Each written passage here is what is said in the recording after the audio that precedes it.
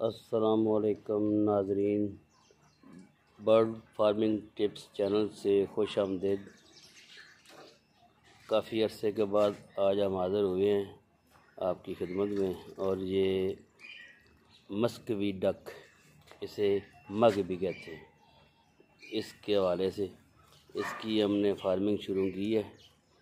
क्योंकि अभी दो चूज़े निकले हैं, वो भी आपको दिखाते हैं। तो अभी थोड़ा मौसम ठंडा हो गया है। एग शुरू कर देंगी ये। और ये ख़ुद ही इनकी बीट करेंगी। चूज़े खुद ही निकालेंगी। अब इनके लिए थोड़ा सा ये पानी वाला बनाया। इनको थोड़ा सा पानी चाहिए होता है ये बस खेलने के लिए ऐसे। ज़्यादा गंद नहीं करती। साफ़ सुथरी है बहुत। इसका जो एग है, अंडा है, वो बहुत ताकत वाला है। इसका गोश्त भी बिल्कुल सेम मुर्गाबी की तरह है।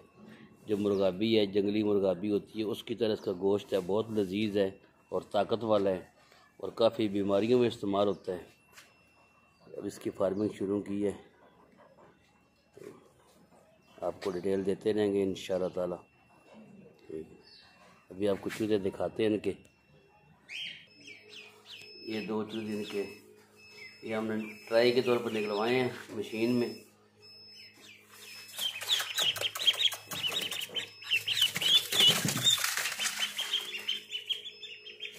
अभी नेक्स्ट जो है, इंशाल्लाह वो खुद ही ऐज करेगी, वो खुद ही निकालेगी।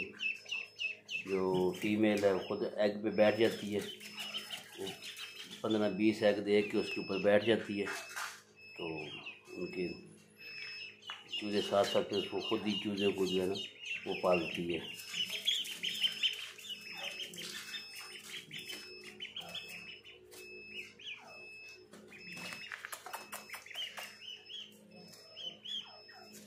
ये इसने आवाज़ सुन ली सी, चूज़े की इधर आ गई है एक जो है ना। ये अपने अंडे के निकले हुए चूहे, उसको पहचानती है ये अभी अंदर से आवाज़ आई है, जो इधर आ गई है, बाकी को छोड़ के। ये इसके अंडे से जिससे ये चूज़े निकले हैं। ये